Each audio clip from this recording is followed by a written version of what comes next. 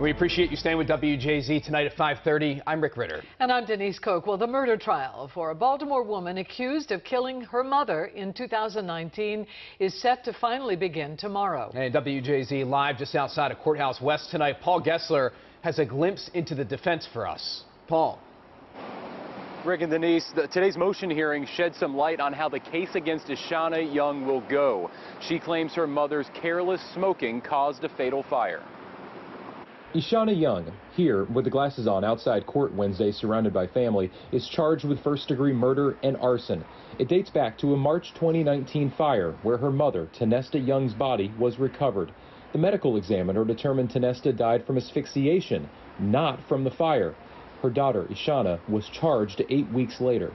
That was her only daughter. She didn't have any other children.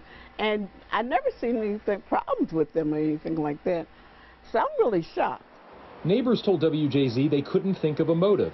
That wasn't addressed in a pretrial motions hearing Wednesday, but in arguing for a motion to dismiss, Eshyna's public defenders laid out the theory Tinestta had been drinking and carelessly smoking, something they said even fire investigators determined to be the cause. Attorneys argued investigators found no signs of accelerants, flammable liquids, or foul play. Definitely a lot of questions that's left unanswered. And I... Friends who came to support Eshyna hope Judge John Nugent will exonerate her. Eshyna spent more than a year in jail during the trial's multiple postponements. I feel like this doesn't, in my eyes, it doesn't make sense at all.